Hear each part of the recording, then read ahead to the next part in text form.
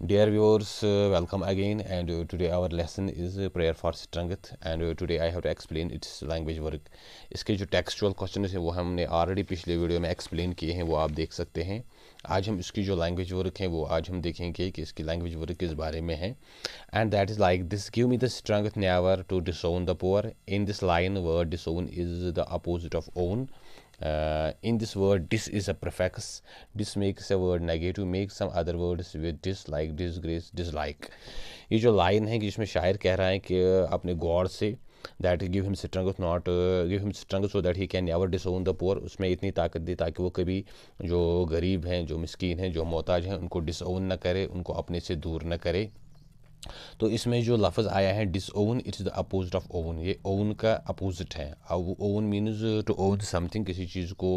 Accept करना and disown means to reject और to negate something किसी चीज़ को ददकारना या नकारना। In this word dis is a prefix इसमें चूँकि ये डिस जो ऐड हुआ है यहाँ पे, ये इसका प्रिफेक्स है, ये इसको पहले साइड में बिगनिंग में ऐड हुआ है।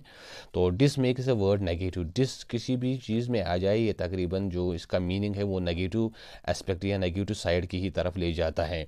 Make some other words with dislike disgrace dislike and now we have to make some words अब हमको कुछ ऐसे अल्फाज ढूँढने हैं जो इस डिस से शुरू होते हैं and that give a negative connotation और जो एक नेगेटिव कनोटेशन या नेगेटिव एक मीनिंग वो दर्शाते हो। यहाँ पे कुछ वर्ड्स ऐसे हैं जैसे डिसलाइक हैं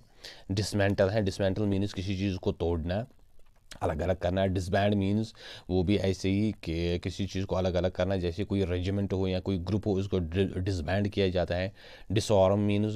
to disarm someone किसी से हथियार लेना डिसटेस्ट मीन्स बेमजगी या डिस्कशन जिसको हम बोलते हैं। ऐसे ही यहाँ पे हैं डिस एम्पावर किसी को डिसम्पावर करना किसी से उसकी जो ताकत है वो लेना and then there is disguise disguise means base बदल कर आना। तो ये ऐसे अल्फाज हैं जो डिस से शुरू हो होते हैं और जो एक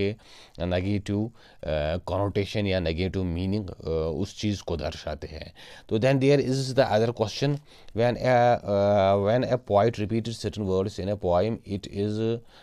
called repetition जब पोइम में शायर कोई कुछ ऐसे अल्फ़ा जो वो बार बार रिपीट करता है उसको रेपिटिशन uh, कहते हैं उर्दू में इसको तकरार बोलते हैं। Read the poem again and find the words and expression that have been repeated in this poem अब हमको ये जो पोइम है उसको फिर से देखना है और उसमें कुछ ऐसे अल्फाज ढूँढने हैं जो बार बार रिपीट हुए हैं। जैसे कि पोइम यहाँ पे हैं, वो इस तरह से हैं।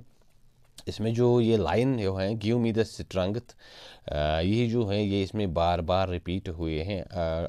टिल द एंड ये जो लफ्ज़ है स्ट्रंगथ हैं गिव है मी है द है। तो ये जो लफ्ज़ है अल्फाज हैं give me this strength give me this strength give me this strength give me this strength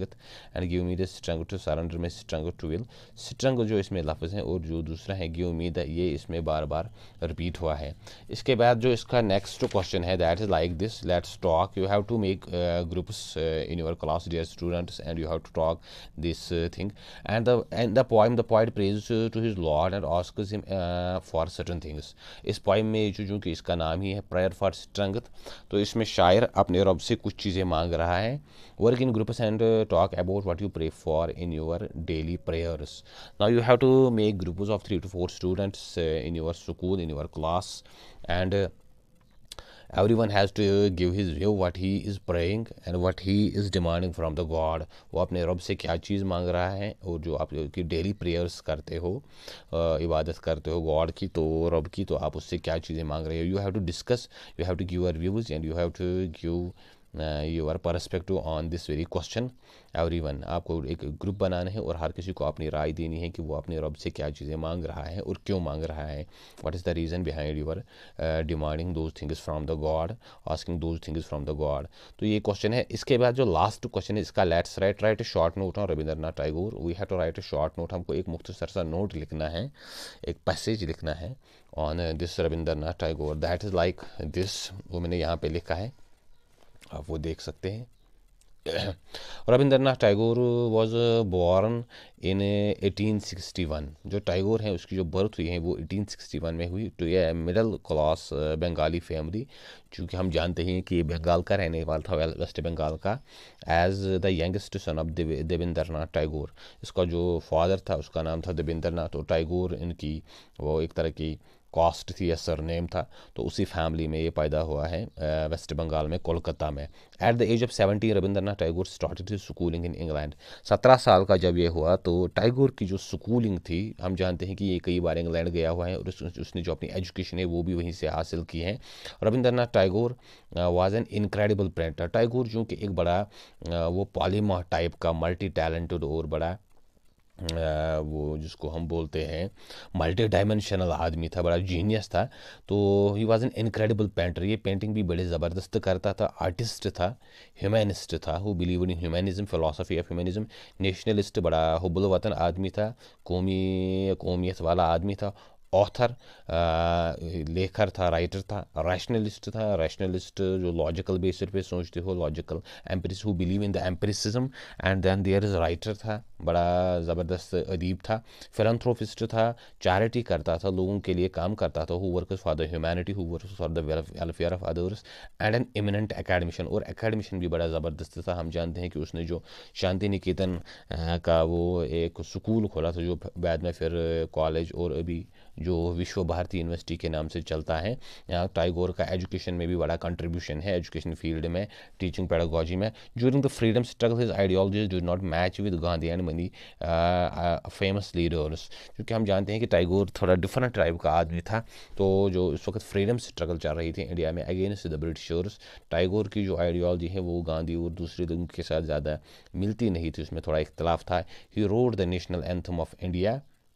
उसने जो इंडिया का नेशनल एंथम है जन गण मन, या बांग्लादेश का, जय बांग्ला तो एंड श्रीलंका का जो उनका नेशनल एंथम है, वो भी टैगोर ने ही लिखा है। He received finally the Nobel prize in the year 1913 और चूँकि उसकी लिटरेचर और जो उसने मशहूर बुक लिखी है, गीतांजलि तो और जो उसका लिटरेरी कंट्रीब्यूशन है in total in Indian literature and in world literature, चूँकि हम जानते हैं ये खुद ही बंगाली में लिखता था, उर्दू में भी लिखता था और फिर इसको इंग्लिश में भी ट्रांसलेट करता था। इतना जीनियस था और उसकी राइटिंग में उसकी जो क्वालिटी थी, उसमें कोई चेंज नहीं आती थी, उसमें कोई डिक्लाइन नहीं आता था। तो finally he got Nobel prize in the year 1913 1913 में उसको नोबल प्राइज़ दिया गया for his contribution in the literature in the field of literature literature में उसको नोबल प्राइज़ दिया गया। So Tagore was one of the genius of modern India